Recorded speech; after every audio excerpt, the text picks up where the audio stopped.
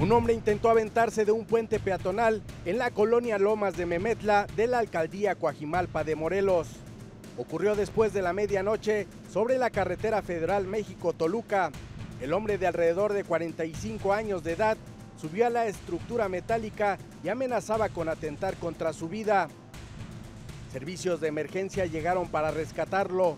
Después de las 12.40 lo convencieron y con una escalera lo bajaron. En otro punto de la capital mexicana, en la alcaldía Azcapotzalco, se rompió una tubería de gas en la azotea de un edificio.